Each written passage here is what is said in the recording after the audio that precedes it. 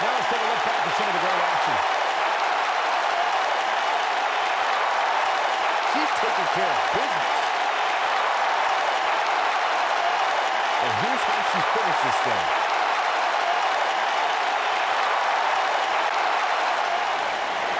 Here is your winner, Bryce Wayne.